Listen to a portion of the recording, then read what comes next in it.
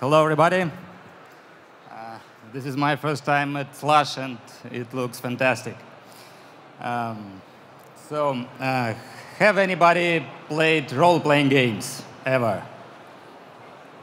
Yeah, great. There are some of us.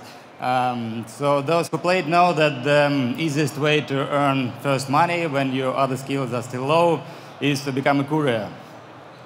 So why not to uh, why not letting anyone with a smartphone to become a courier in real life and earn a real money? Uh, that's, that's how Dostavista started three years ago. And now we are same-day delivery, or may say two hours delivery service um, uh, that operates now in Moscow.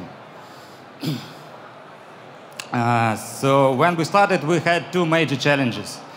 Uh, first, uh, how to make professional couriers uh, out of newbies.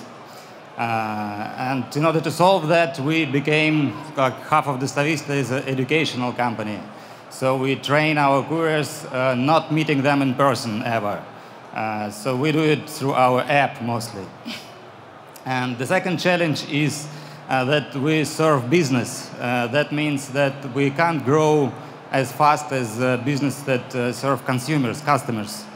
Uh, and uh, actually, uh, we, I think we have solved it as well. so what do we have now? Now we grow, we triple our revenue every year. we make um, 2,000 deliveries a day.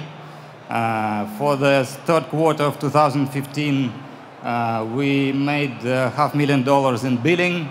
80% uh, of billing goes to couriers, and um, half of the rest, 20%, uh, is our contribution margin. Uh, so now we think our business model is uh, proven, and we are ready to go outside Russia. And uh, uh, this is our roadmap. So London, Istanbul, Karachi, and Mumbai. so we're here to look for investor who will help us to deploy or maybe to open new location in our real life game for the couriers in those cities. Thank you.